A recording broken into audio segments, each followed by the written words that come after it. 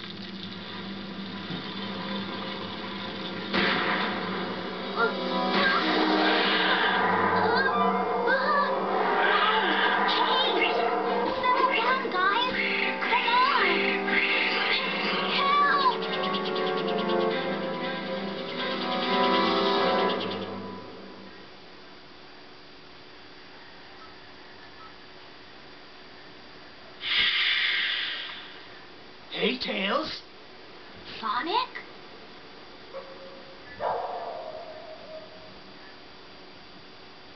What are you doing out here? Sonic, is that really you? That's a new look. What happened? You know me. Never a dull moment. Want some chocolate? Uh, thanks. That's some story.